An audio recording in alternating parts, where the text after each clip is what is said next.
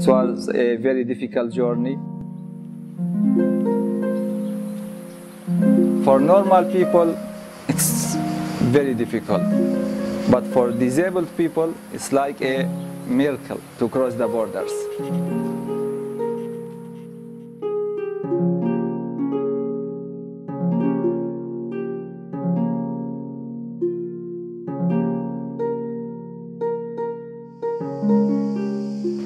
We took two horses, one for me and my sister, disabled sister, and one for our wheelchairs.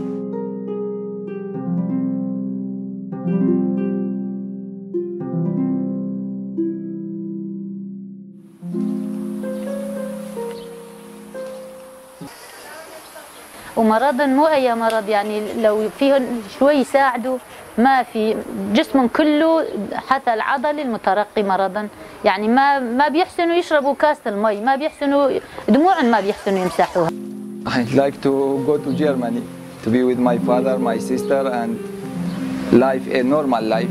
Have a family there, uh, have a job. This is my dream.